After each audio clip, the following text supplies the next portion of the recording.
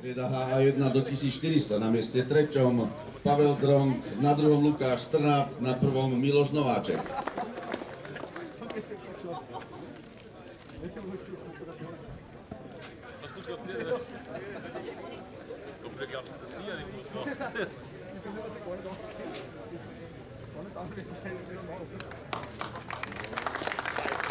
Gratulujeme.